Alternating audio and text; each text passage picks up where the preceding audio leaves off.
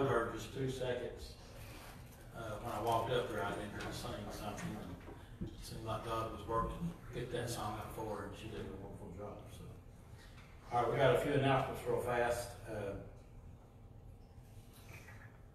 there's a mask in the back for everybody if you want to take one with you. And one or two, three, until they're all gone. I think there's like 500 back there. Uh, if you want to take one with you, uh, get as many as you want case you wanna wear a warrant, if you go in and find a place that you can't go in, because you have to have one, so you might as well take one, put it apart. And They're re- reusable, you can rewash them, and use them over and over again. So, uh, that's that announcement. Uh, Any other announcements?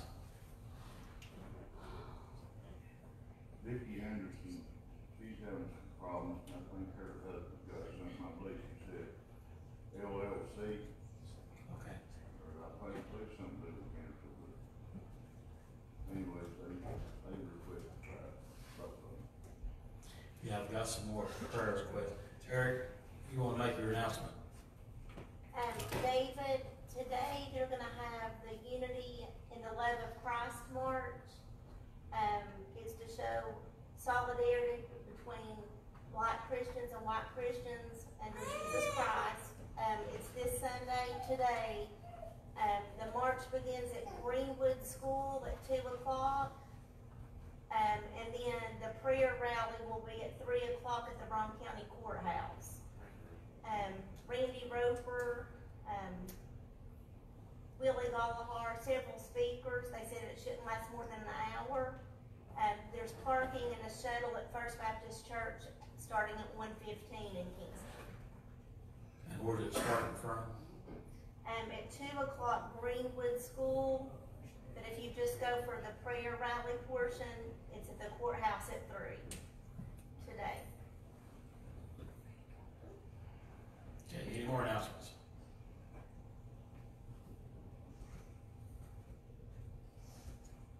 Okay, definitely remember uh, Vicky Anderson and her husband, they've got, uh, some things on.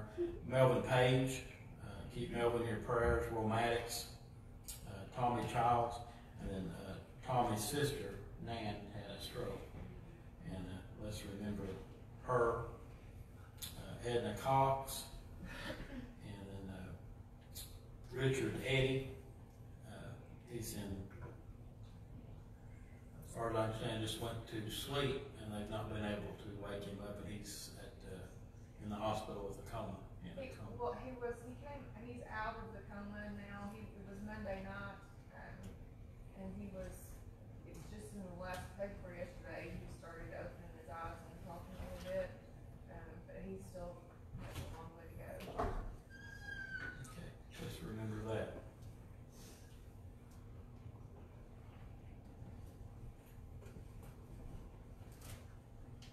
Okay, we also need to Curley family. Uh, Jerry uh, passed away suddenly this week. Uh, So remember him and his family. That's Emily Page's dad. Maybe that'll help, who's married to Melvin's Page son, so remember Emily and the family. I think they're receiving friends Monday night. I think that's what I saw. At Davis, at Davis, At Davis, Monday night. five at to eight, yeah. Okay. Monday night at Davis. Anyone else? Brother David, please remember, uh, Judy Redmond and Missy, their, her husband and Missy's father passed yesterday with a stroke. Okay. Anyone else?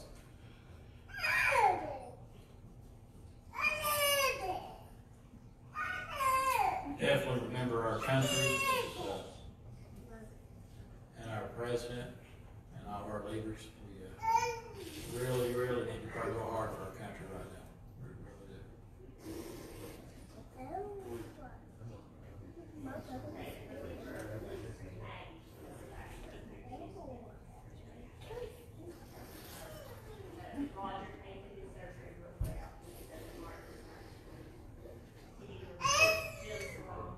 They postponed her surgery for now. They were complicated and they called her.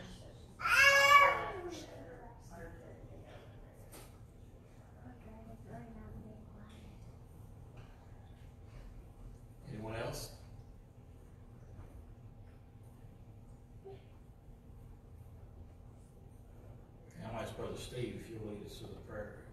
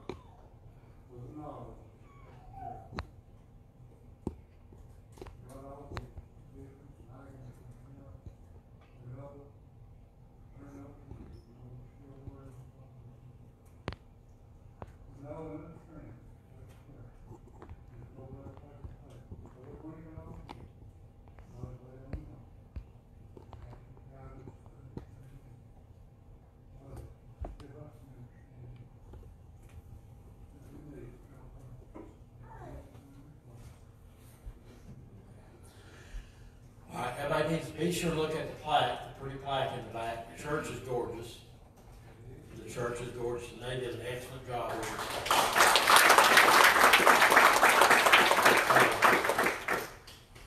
I know Alice.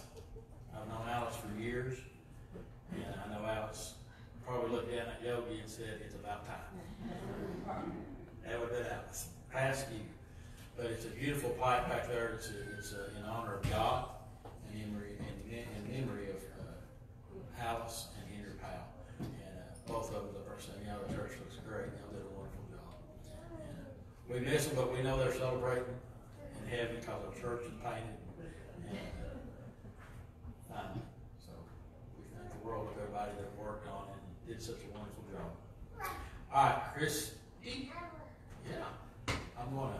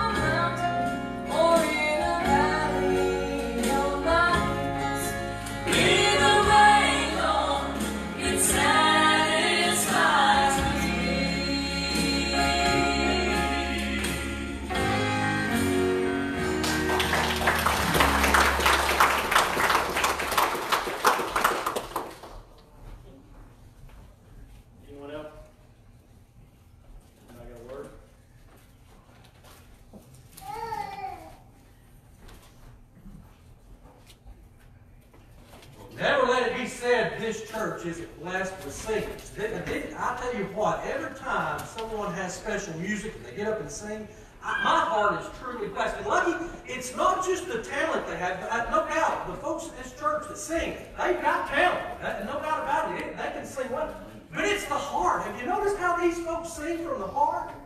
Man, what a blessing it is for us as a church to have so many folks willing to open their hearts up, willing to share their talents, willing to sing from the heart to God. And, and so as we gather this morning, no doubt we've already been led into worship with, with those who have sung, with those who have, have prepared the way for us now as we open God's Word for the sermon. And, and no doubt everybody's already been blessed. But I want us to look today at Galatians Turn with me, if you will, Galatians chapter 6. And as you're turning there, I want to share with you something that I learned way, way, way back when I went to college. I was in college in a class, I was taking psychology, and, and one of the classes I took had to do with uh, human behavior. And in this particular class, I learned about a study that was conducted, and this study went something like this. They had a room full of people. It was during the summer. A room full of people had gathered together, and one person was to go into the room. And no matter what was being said, no matter what was being done, their only job was to go in and say positive things. So, guess what happened, Brother? They, they came walking in, and, and uh, he started hearing some of the things that were being said. Some of it was, man, it sure is hot outside. And, man, I tell you what, we need some rain. And, man, I tell you what, we're, we're desperate for some rain, and all these other things, and, and how the, uh, the, just everything seemed to be going negative. And his job was to turn this, he said, man, isn't summer great? He began to say, man, isn't it great that it's not cold? Remember winter? Oh, how warm it is. I just love warm weather. Don't my bones feel better when it's warm. And he just kept saying positive things. And it wasn't but about five minutes long before every person in that room had a positive statement to make about it being summer, about it being warm, about the sunshine. Uh, everybody had a positive thing to say, and just five minutes after this man walked in the room and was saying positive things. We, we learned those positive behaviors from other people.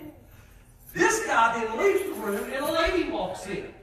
And the lady comes in, and all these people are saying good things when she walks in the room. And she's talking about, or they're talking about how great the summer is. They can't wait for the harvest to come in. They can't wait to eat tomatoes and corn and all these other things.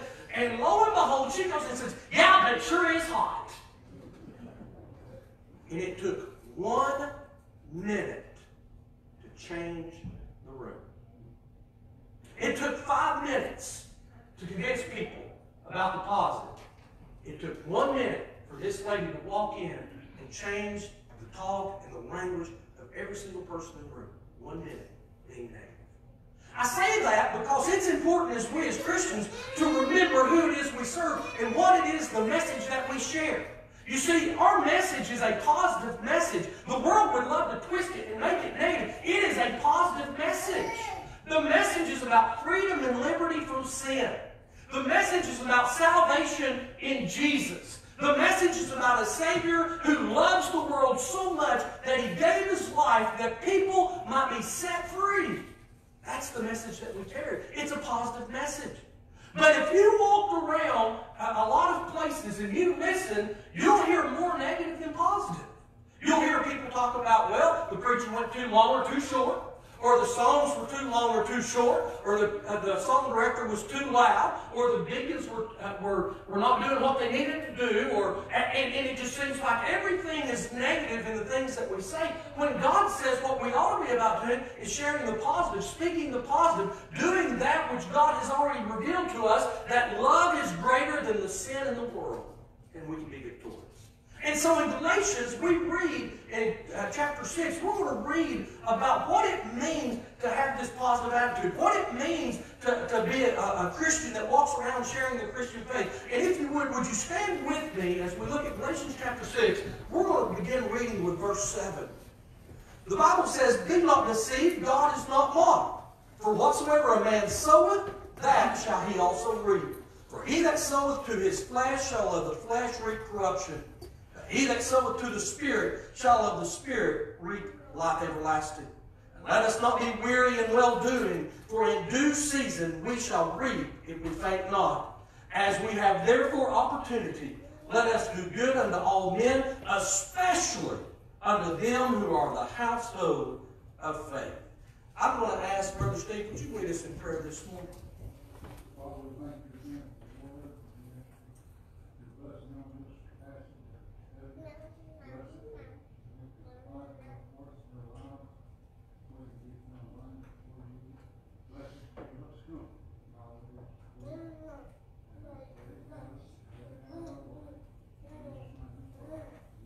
And amen. And you may be seated.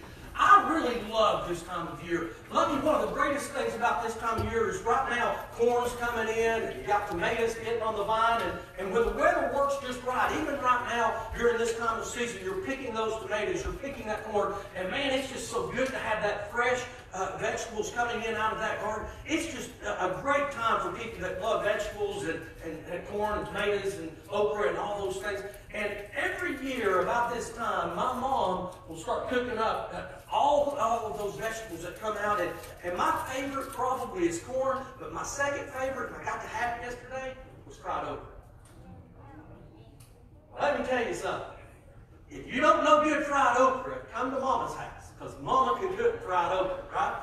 We had that fried okra yesterday, and she set it on the table, and she made the mistake of putting it on the table first, because when she turned around to go get other stuff, it was like vultures. Me and Danny and uh, Darren, and I mean, we just boom. That whole bowl was empty, and nothing else is on the table. We've already filled up our plates, and we're eating okra before anything else is out there. I mean, everybody was wanting that okra, right? And Mom looked and she said, Well, uh, do you want anything else for supper or just want okra? And Danny looked there and said, Okra's fine, go make some more, we're good. Okra's fine. And, and so literally we were just enjoying that, that good fresh okra, fried just oh so perfect. And I began to sit there and, and immediately I thought about what we were talking about this morning, about this sermon and, the verses. And I thought to myself, you know, when it talks about you reap what you sow, I'm so glad Dad sowed okra. Because when I reaped okra, man, it was delicious, right? You know, for Christians, we need to be aware that what we sow, that we will reap. If we sow negative attitudes to the world, guess what? We're going to reach that negative right back. You say, what do you mean, Tim? Well, I say it like this. Have you ever found yourself being aggravated and, and all of a sudden you start talking and, and you share that aggravation and you find out you go about a week's worth being aggravated the whole entire time and you look back and you think, man, I should have been so thankful. God did all these things during this time and yet all I was doing was complaining the whole time. I, I have a saying now that when someone says, hey, how are you doing? I sit there and say, hey, I'm blessed. I'm, you know, I'm not going to complain. God's worthy of my praise. And, and I've really tried to change my attitude to, to say those things. But this past week, I found myself very negative about some things. I just thought, ah, you know, we had some things go on, some things that took place that took me away from other things that I wanted to do. And, and it just was frustrating. And I let that frustration pour over and it robbed me? Robbed me of the joy that God was trying to give me. You see, here's what I have found, and no doubt you have probably seen it in your life as well.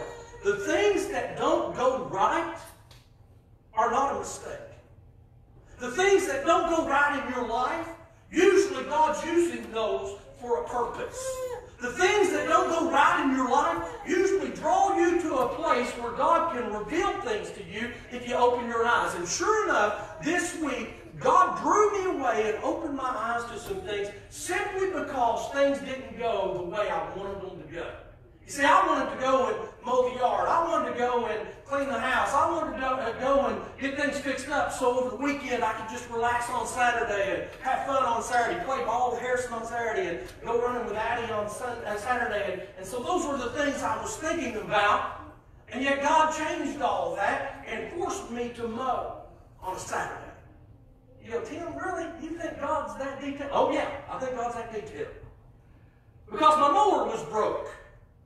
Roy, my mower broke when I tried to uh, get it out yesterday, so I had to go do something. I had to go borrow Dad's lawnmower. All right?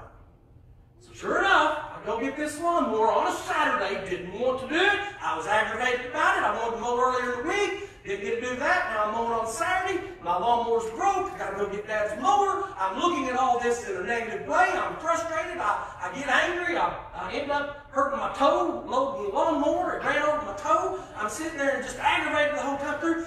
Finally got done mowing.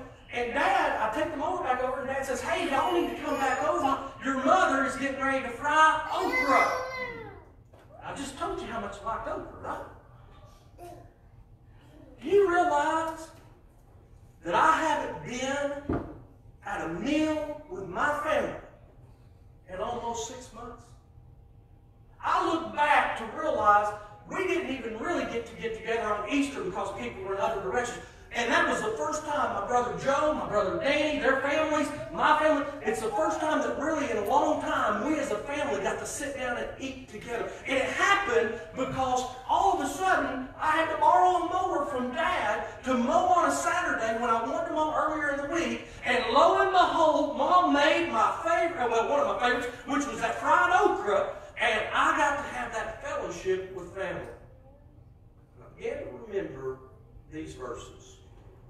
And it dawned on me. Tim, you reaped anger and bitterness and frustration and all the other things that go with aggravation and all of that simply because you were looking through your own eyes at what was going on rather than giving God praise for all things. And yet God still blessed you in spite of all that, and you ought to feel guilty and you ought to ask forgiveness for feeling that way because you lost your joy that God was trying to give you all along. And I sat there and I thought, you know, if I'm doing that, no doubt probably everybody else is doing it, right? Don't, don't we all find ourselves doing that? And so I said, God, thank you for giving me this sermon because I believe every single person in this room probably has been where I was yesterday and then ultimately found themselves looking back thinking, God, thank you so much for blessing me in spite of my ignorance, blessing me in spite of my attitude, blessing me in spite of my aggravation and and discouragement. God, I just want to thank you that you opened my eyes to where I can see the blessing. And what I want you to do right now, even right now, as I'm speaking to you, I want you to look back at this past week and I want you to find at least one thing that you can look back on and say, you know what?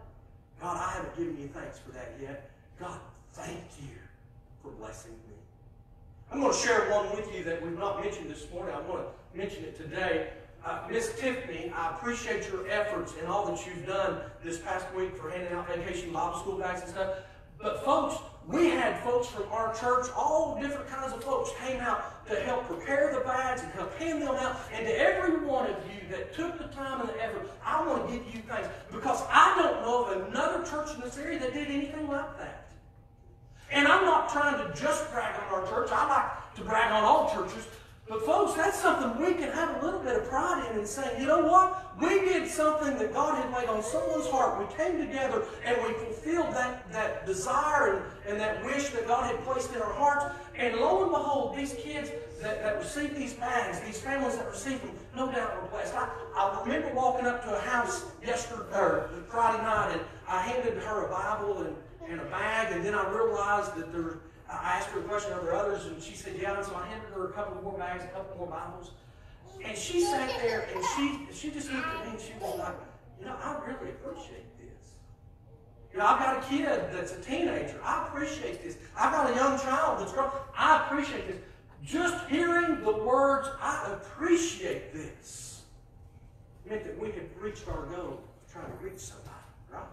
The Bibles that were handed out, the, the the bags that were handed out, the ministry that was performed, the joy that we all received. Folks, that is something that we should give God a, a, a great praise and thanks for, right? We should be thankful for what God allowed us to do this past week. And I say that to bring me to my last point, which is found in verse 10. I want you to read it with me one more time. I love this verse. It says this As we have therefore opportunity, let us do good unto all men especially unto them who are of the household of faith. Do you know that God's desire for us is that we take advantage of the opportunities to do good unto others? To do good. Miss Tiffany, I appreciate you doing that. those who came out and helped hang those tree backs out and all those other things and the Bibles and everything. Man, I thank you for your time and for doing that. I appreciate you coming out and doing that. And, and I look back on that and I think to myself, what great joy our church experienced just watching and fellowshipping and witnessing and sharing and doing all those things. What great joy these folks received from just doing good unto others, doing good unto all men. My question today is this Do you and I take advantage of opportunities? Like I said before, I don't believe mistakes happen lucky. I believe God's in the designs and details. I believe just as God sort of caused my mower to break and me to have to mow on a Saturday, I believe all those other things that happen in my life are done by, by God's great design to lead me, to take me to certain places and to do certain things. And He's opened up opportunities. And the thing I want to share with you is this. If I want to reap good things in my life, if I want to reap joy in my life, if I want to reap happiness in my life, if I want to reap those uh, things that God has prepared for me in my life, I've got to live a spiritual life. I've got to sow the seed of righteousness so that I might receive the, the reaping of righteousness, the fruit of righteousness. I had to attend a funeral yesterday morning. It was a, a memorial service. And as I was sitting there, they were speaking about this lady and all the things that, that she had dealt with and all the things that she had accomplished in her life. And even at a very young age, she had accomplished so much, and yet she, she had passed away. And folks were talking about all the different things in her life. Folks, I began to think, what do I want said at my funeral?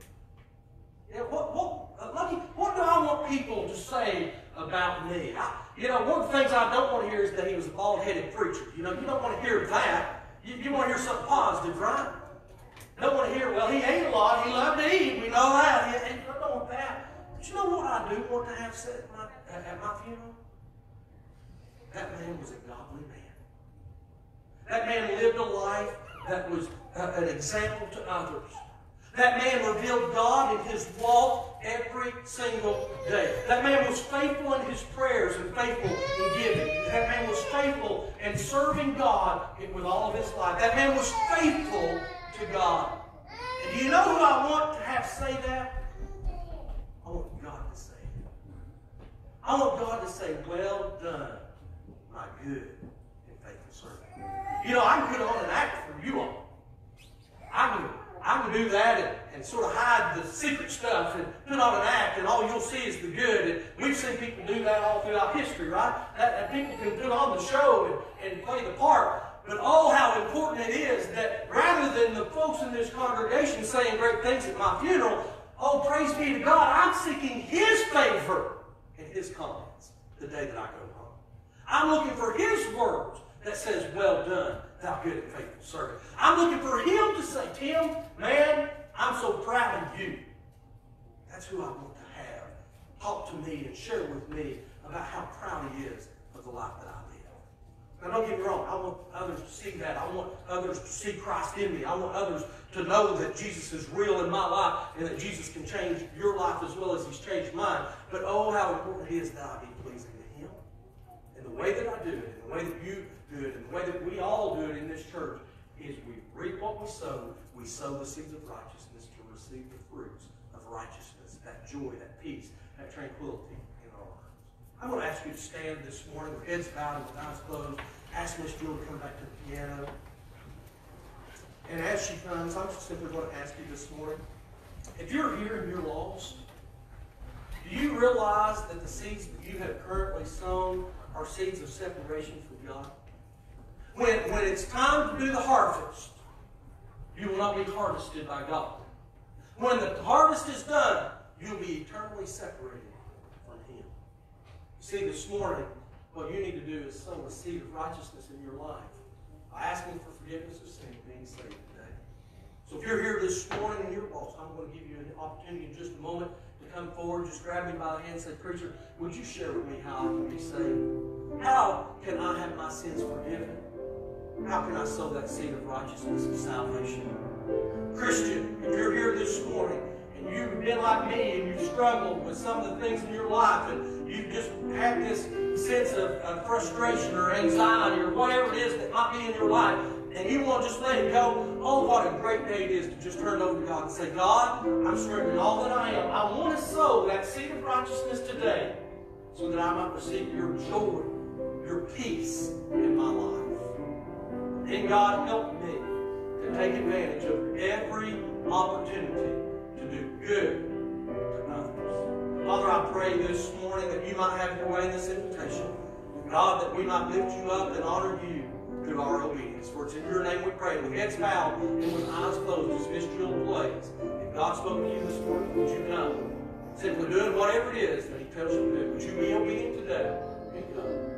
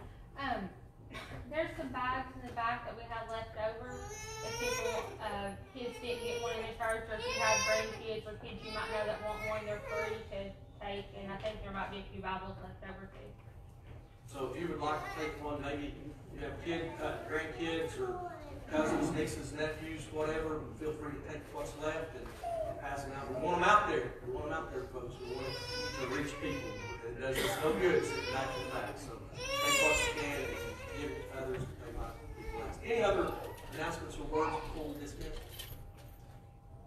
Again, don't, uh, don't forget the service that they're going to be doing today at three.